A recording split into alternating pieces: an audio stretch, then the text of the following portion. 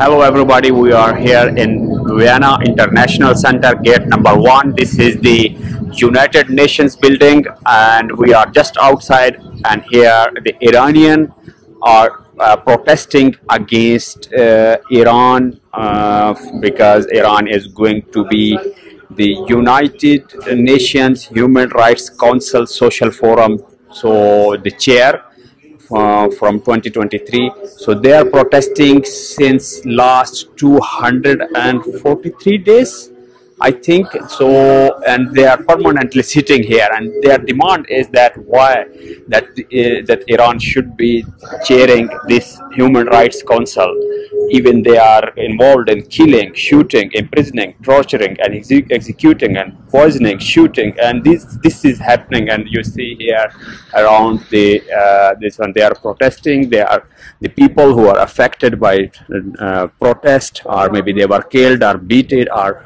are, are kept in, uh, in in prison. So around this so these are the innocent people civilians. Hi. hello so this protest started from that uh, lady who was killed in in prison or in in the custody of police who who was accused that she did not wear uh, him uh, scarf properly.